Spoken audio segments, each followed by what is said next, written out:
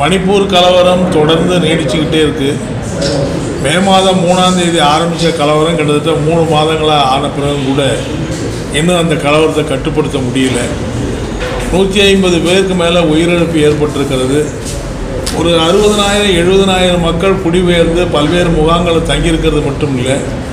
அவங்க தங்களுடைய வாழ்வாதாரத்தை தேடி பல இடங்களில் மலைகள்லேயும் காடுகள்லேயும் பதுங்கி இருக்கிற நிலைமை என்பது மோசமான நிலைமை ஏற்பட்டிருக்கு.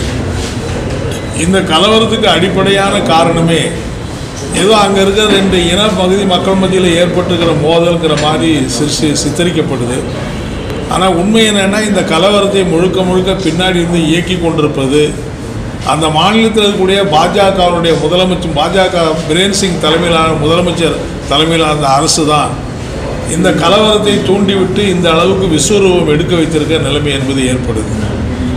அங்கே குறிப்பாக வந்து குக்கி என்கிற அந்த மலைவாழ் மக்கள் வாழக்கூடிய அந்த பிரதேசங்களை அந்த மலைகளை விட்டு அந்த மக்களை பூரா அப்புறப்படுத்திட்டு அந்த மலைகளை பெரிய பெரிய அபா அம்பானி அதானி என்கிற கார்ப்பரேட் நிறுவனங்களுக்கு தாரை வார்ப்பதற்கான ஒரு சதி திட்டத்தின் அடிப்படையில் தான் இந்த திட்டமிட்ட இந்த கலவரம் என்பது உருவாக்கப்படுது.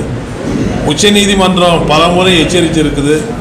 தொடர்ந்து உச்சநீதிமன்றம் இவ்வளவு மோசமான நடவடிக்கை எடுத்து இந்த அங்கே போட்டிருக்கிற எஃப்ஐஆர் மட்டும்லாம் பார்க்க உச்சநீதிமன்றம் அங்கே ஒரு அரசு இருப்பதாகவோ சட்டம் ஒழுங்கு இருப்பதாகவோ நம்மளால் பார்க்க முடியல என்கிற அளவுக்கு மோசமான இதில் சொல்லியிருக்காங்க. அப்படிப்பட்ட ஒரு அரசில் முதலமைச்சர் எதுக்கு அங்கே இருக்கணுங்கிற கேள்வி என்பதும் எழும்பியிருக்கு.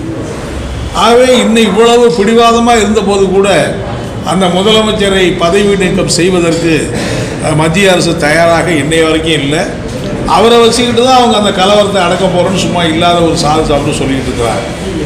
அது மட்டும் இல்லை இப்படிப்பட்ட கலவரத்தினால் பாதிக்கக்கூடிய மக்களுக்கு மத்திய அரசு எந்த உதவியும் பண்ணலை.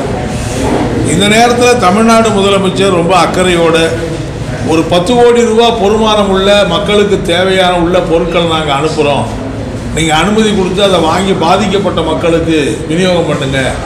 என்று அறிவிச்சிருக்கிறது ஒரு மனிதனை அடிப்படையில் அறிவிச்சிருக்கிறத மார்க்சிஸ்ட் கம்யூனிஸ்ட் கட்சியின் சார்பில் நான் நெஞ்சார பாராட்டினேன் முதலமைச்சருக்கு என்னுடைய வாழ்த்துக்களை தெரிவிக்க விரும்புகிறேன் அந்த மாநில அரசு உடனடியாக அந்த மாதிரி பொருட்களை வாங்கி அந்த பரிதவித்து கொண்டிருக்கக்கூடிய மக்களுக்கு அதை விநியோகம் பண்ணணும் என்று நான் கேட்டுக்க சொல்வதோடு மத்திய அரசு இது மாதிரி அந்த பாதிக்கப்பட்ட மக்களுக்கான உதவிகளை உடனடியாக வழங்க வேணும். முதல்ல அந்த முதலமைச்சரை பதவி விட்டு நீக்கக்கூடிய அந்த காரியத்தில் அரசு ஈடுபட வேண்டும் என்று இந்த நேரத்தில் நான் கேட்டுக்க விரும்புகிறேன்